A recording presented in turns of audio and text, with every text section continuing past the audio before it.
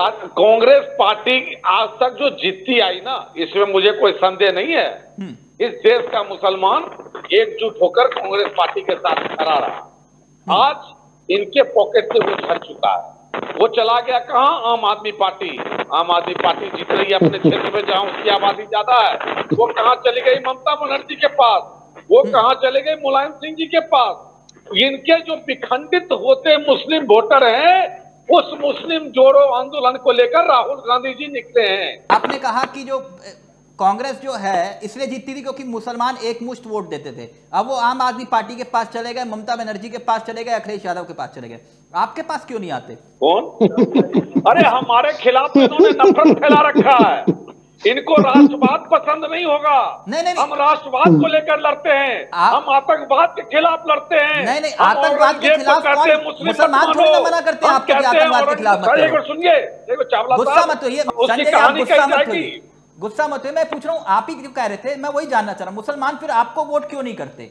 आप ही के मुताबिक। जो देश का सच्चा मुसलमान है जो देश की प्रगति विकास को सोचता है वो आज भी भारतीय जनता पार्टी के साथ है और आगे भी रहेगा। एक हाल ही में प्रकरण याद आ गया कि देश के प्रधानमंत्री की रैली में जो जाएगा, उस पत्रकार को प्रमाण पत्र देना पड़ेगा। मुझे बड़ी हैरानी हुई। मतलब पत्रकार को प्रमाण पत्र देना पड़ेगा। अब इससे बड़ा प्रमाण पत्र क्या होगा? है? दिन रात इतना सब कुछ होता है, इससे बड़ा प्रमाण क्या होगा? चलिए, अब आप ये कह रहे हैं कि सच्चा मुसलमान वही होगा जो बीजेपी को वोट करेगा। है ना?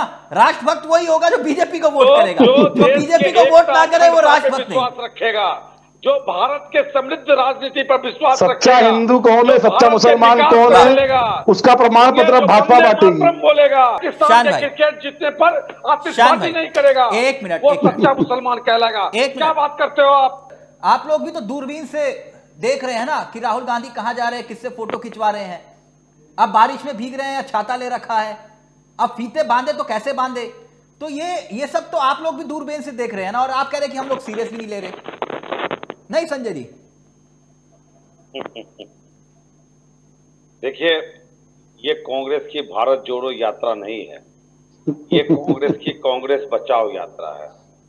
और मुझे इस बात की खुशी है कि युवराज, जो इस गांधी खानदान कह लें कि नेहरू खानदान कह लें, जो भी कह लें, युवराज को यह समझ में आ गया है कि हम दिल्ली के सल्तनत पर बैठ के भारत की जनता को नहीं समझ सकते। हैं इसके लिए बीच में जाना पड़ेगा। कब इनको महँगाई से कोई मतलब नहीं है। अच्छा आपको लग रहा है मतलब यात्रा से कोई माहौल नहीं बनेगा?